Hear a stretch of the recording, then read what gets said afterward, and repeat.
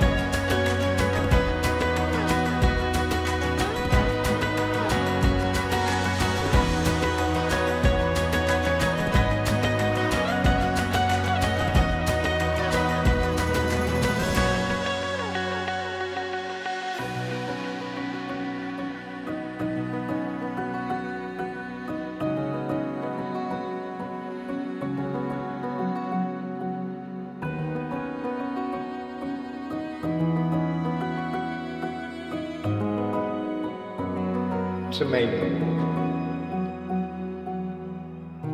she is everything.